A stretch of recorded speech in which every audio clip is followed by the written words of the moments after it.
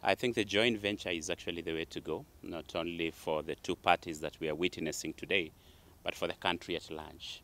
Not everybody is a junk of all trades, so we need each other.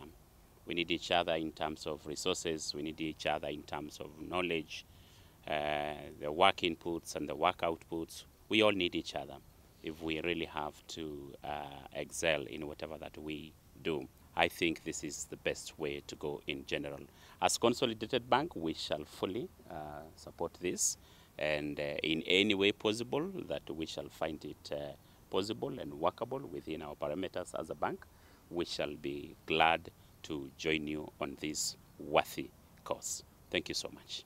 And this partnership is expansion of their network because they are serving in almost 25 years in this region.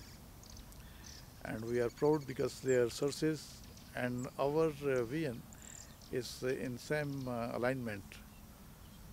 So Kenya is uh, already have brand in the region about their education system and especially in medical section. So we want to expand this services in uh, region, neighboring countries like South Sudan, Burundi, Tanzania, and uh, also this can go to Rwanda and Uganda. Actually, this is going to bring a network which is going to facilitate uh, community. This is not that how you are going to make money. Actually, this is how to serve the community. So that is the principle which, which bring us together. And now, and this investment is asset base, which develop resources in the country through community. So this is a totally new approach that how we can bring prosperity in the country without borrowing money, without uh, any help from others. When we develop our resources, so actually that is our wealth, which is going to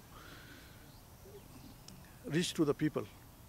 And our main focus is to create and develop middle class. That is circulation of money. This is the main vision. And which is our investment? That investment is uh, focus infrastructure, agriculture, mining, power sector, and we have 5% equity share for education and also health sector. So this is part of that uh, our uh, comprehensive plan. So we are looking forward uh, to have this joint venture to expand uh, our services to people.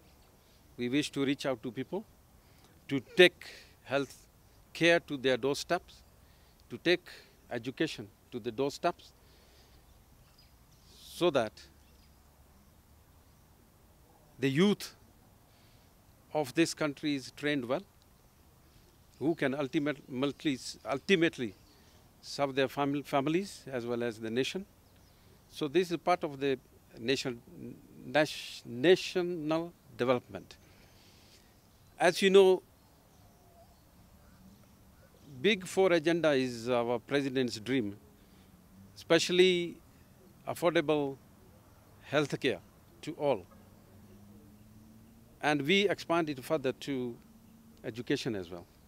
So ours is like affordable agenda, I mean affordable healthcare as well as education to people. Currently we hold 3,500 students who are learning in our facilities in various uh, different uh, campuses. And these are all medical courses. So um, basically we are uh, training uh, technicians to generate workforce and uh, as you know, there is a big shortage of uh, these middle level colleges and uh, also technicians in this country, which I found as a gap when I was running this institution as our, our hospital. And we thought of training people who can be employed by our own institutions as well as can be taken to other parts of this country and different countries as well.